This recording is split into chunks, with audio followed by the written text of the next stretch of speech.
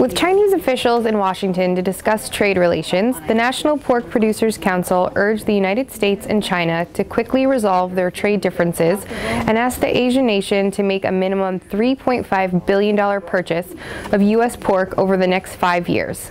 U.S. pork producers now face tariffs of 62% on exports to China, the world's largest consumer of pork. Pork is said to represent about 15% of the consumer price index in China and could single-handedly make a huge dent in the U.S.-China trade imbalance. China already had a 12% tariff on U.S. pork and the country has a 13% value-added tax on most agricultural imports. In addition, a collection of other non-tariff barriers has chronically suppressed U.S. pork exports to China over the years. For more on this, subscribers should click on the news link in Comtell. In other news, fish counter jobs at Tesco are reportedly in danger.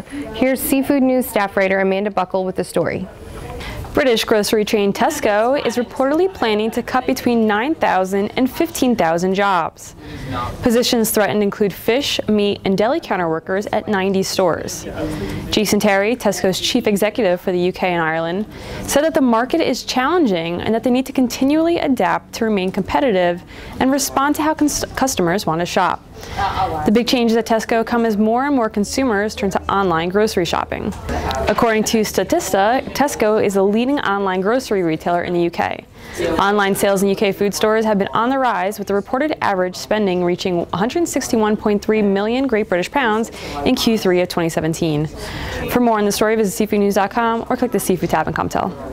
Thanks, Amanda. That concludes our show for today. Thanks for watching and be sure to visit Comtell for the latest market and industry news.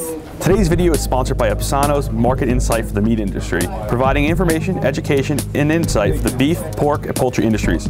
View a sample report at obsono.com or call 800-932-0617 to get your free sample today.